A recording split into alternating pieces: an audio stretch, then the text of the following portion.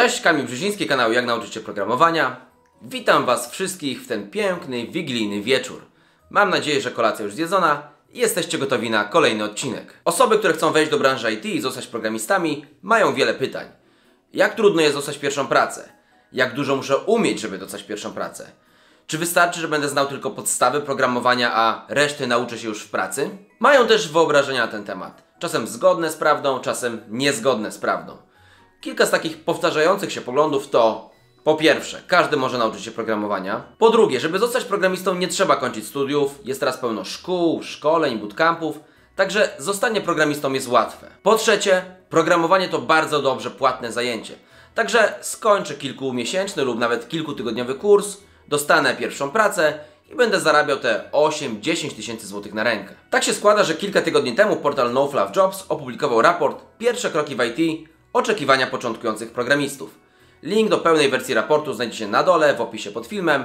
Ja w tym filmie skomentuję najciekawsze informacje, jakie zostały w tym raporcie zawarte. Pierwsza bardzo istotna informacja, dzięki której możemy choćby częściowo odpowiedzieć sobie na pytanie, czy trudno jest dostać pierwszą pracę w IT, jest taka, że na jedno ogłoszenie juniorskie przypada 40 aplikacji. Nie wiem, jak statystyki wyglądały kilka lat temu, czy tych aplikacji było mniej, czy było więcej. Prawdopodobnie teraz jest więcej, coraz więcej osób chce się uczyć programowania, coraz więcej osób uczy się programowania, także jest coraz więcej chętnych do zostania programistami, coraz więcej chętnych do otrzymania pracy w tym zawodzie. Czy 40 osób na miejsce to dużo czy mało? To tak naprawdę nie ma znaczenia.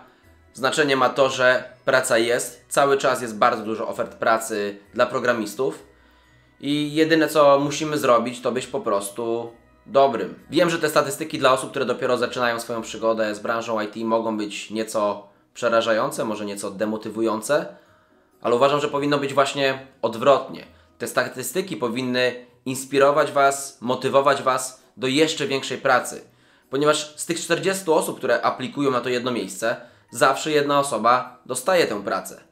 Także jeżeli jesteśmy lepsi od pozostałych 39 osób, nie musimy niczym się martwić, bo po prostu tę pracę otrzymamy. Jest jeszcze jedna bardzo ważna rzecz, o której warto pamiętać. Mój przyjaciel Michał Szatiło w swojej pierwszej książce Piąty Poziom napisał Im wyżej mierzysz, tym mniejsza konkurencja, a jednocześnie większe szanse na zgarnięcie głównej wygranej. Paradoksalnie łatwiej jest aplikować tam, gdzie jest mniejsza konkurencja, gdzie jest wyższe stanowisko. Także moja rada dla Was brzmi tak, żebyście poza stanowiskami juniorskimi starali się również aplikować na stanowiska na poziom regular. Oczywiście oznacza to, że będziecie musieli wykazać się nieco większą wiedzą, że będzie się od Was więcej oczekiwać, ale może warto jest poświęcić jeszcze dodatkowe pół roku czy nawet rok na naukę i od razu zaaplikować na stanowisko regulara, a nie juniora. Tak to zresztą wyglądało u mnie w bardzo dużym skrócie. Tuż po skończeniu studiów inżynierskich miałem jedne praktyki w Polsce, 3-miesięczne.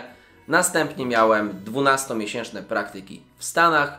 W momencie, kiedy wróciłem do Polski, co prawda już z tym rocznym doświadczeniem, zaaplikowałem do firmy nie na stanowisko juniorskie, tylko na stanowisko regulara i tę pracę bez problemu otrzymałem. Także uczcie się solidnie i pamiętajcie, że dla dobrych programistów praca jest. Kolejna bardzo ważna informacja z raportu dotyczy najważniejszych wartości pracy. Dla młodych programistów są to przede wszystkim możliwość rozwoju, dobra atmosfera w pracy i odpowiednie zarobki. Jeżeli chodzi o atmosferę, myślę, że wszystko jest jasne. Nikt nie chce pracować w firmie, gdzie jest źle, gdzie ludzie są niemili, gdzie są niepomocni gdzie się po prostu nie chce przychodzić do pracy. Cieszy mnie, że na pierwszym miejscu pojawiła się możliwość rozwoju, ponieważ faktycznie powinna to być najważniejsza rzecz dla młodych programistów. W pracy człowiek uczy się najwięcej, tam zdobywa najwięcej doświadczenia i fajnie, kiedy praca umożliwia człowiekowi rozwój. Branża IT zmienia się bardzo, bardzo dynamicznie, non-stop pojawiają się nowe technologie, wchodzą nowe rozwiązania, także trzeba być z tym na bieżąco.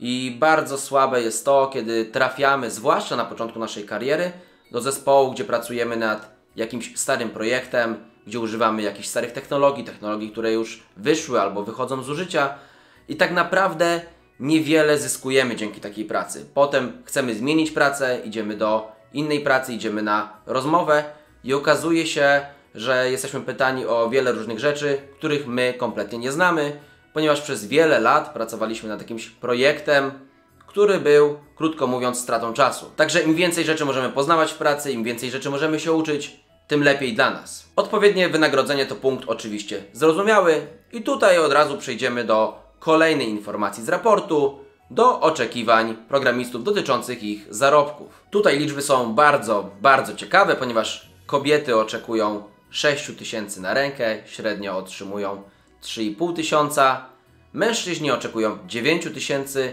średnio otrzymują 4200. Jak widzimy, rozstrzał między oczekiwaniami kobiet i mężczyzn jest bardzo duży, ale zarówno kobiety, jak i mężczyźni od pierwszej pracy oczekują odrobinę zbyt dużo. Musimy to zrozumieć, bo oczywiście w IT zarabia się dużo, ale musimy też pamiętać o takiej prostej matematyce. Jeżeli wasza praca przynosi firmie 20-30 tysięcy złotych zysku, bez problemu firma zapłaci wam za waszą pracę 10 czy 15 tysięcy złotych. Ale w momencie, kiedy jesteście dopiero na początku drogi, kiedy dopiero zaczynacie swoją przygodę z programowaniem, jeszcze nie jesteście w tym tak bardzo biegli, wasza praca z całą pewnością nie przynosi aż takich zysków. Jesteście dopiero na tym etapie, kiedy się uczycie, kiedy się wdrażacie, także wasz pracodawca nie może zapłacić wam więcej niż dzięki wam zarabia. Przez pierwsze miesiące tak naprawdę jesteś kosztem dla firmy, ponieważ przez pierwsze miesiące bardzo mało wytwarzasz, bardzo dużo się uczysz, inne osoby ci pomagają. Także to wszystko gdzieś pracodawca musi sobie zrównoważyć. Także pamiętajcie o tym, żeby na samym początku nie oczekiwać zbyt dużo. Należy pamiętać o tym, że faktycznie przez te pierwsze kilka miesięcy, czy nawet pierwszy rok możemy zarabiać trochę mniej niż moglibyśmy tego oczekiwać, ale jeżeli będziemy się uczyć, jeżeli będziemy wytrwali, jeżeli będziemy cały czas rozwijać się w tym, co robimy, to te wyższe zarobki z całą pewnością przyjdą. Kolejny punkt, które z poniższych źródeł nauki uważasz za najbardziej skuteczne? Kilka z tych pierwszych źródeł jest myślę oczywistych. Kursy, tutoriale, szkoły programowania, studia. O tym wszystkim już rozmawialiśmy, poruszaliśmy te tematy wiele razy, dlatego teraz chciałbym skupić się na kolejnym punkcie, a mianowicie pracy. Ludzie mówią, wszystkiego nauczysz się w pracy. I to prowadzi do pewnego niezrozumienia tego stwierdzenia. Nawet dzisiaj w tym filmie powiedziałem, że w pracy człowiek uczy się najwięcej, że tam zdobywa najwięcej doświadczenia. Ale musimy to odpowiednio rozumieć. W pracy zdobywamy właśnie doświadczenie, ale już idąc do pracy musimy mieć solidne podstawy. Wspomniałem też, że na samym początku jesteś dla pracodawcy przede wszystkim kosztem. I większość pracodawców nie będzie miała problemu z tym, że będziesz się wdrażać przez 2-3 miesiące, a potem będziesz już firmie przynosił zysk. Ale żaden pracodawca nie może pozwolić sobie na to, że będzie ci płacił normalną pensję przez kilkanaście miesięcy, że ty w tym czasie będziesz się uczył. No nie. Już idąc do pracy, musisz pewną wiedzę posiadać. Musisz pewne rzeczy umieć. Oczywiście nie musisz być ekspertem w tych kwestiach. Nie musisz znać wszystkich technologii. Tych technologii nauczyć się w pracy. Będą tam bardziej doświadczone osoby, pewne rzeczy ci pokażą, ale musisz umieć to już ogarniać. Musisz umieć pewne rzeczy robić samemu. Musisz też być efektywny w tej nauce, w pracy, w tym zdobywaniu doświadczenia, a to wszystko nie jest możliwe bez odpowiedniej wiedzy, bez odpowiednich podstaw w momencie, kiedy idziesz do pracy. Także podsumowując, uczcie się solidnie, nie bójcie się aplikować do pracy, pomimo tego, że jest już duża konkurencja. Wystarczy, że będziecie lepsi od innych. Pamiętajcie też, żeby w tym wszystkim być wytrwałym, cierpliwym, żeby nie oczekiwać, że w pierwszej pracy będziemy zarabiać jakieś kokosy 10-15 tysięcy złotych, bo to po prostu jest niemożliwe.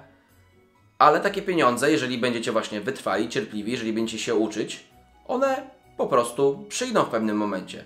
To wszystko zależy tylko i wyłącznie od Was. Jeszcze raz wszystkiego dobrego z okazji świąt i widzimy się tuż przed imprezą sylwestrową. Dzięki i cześć!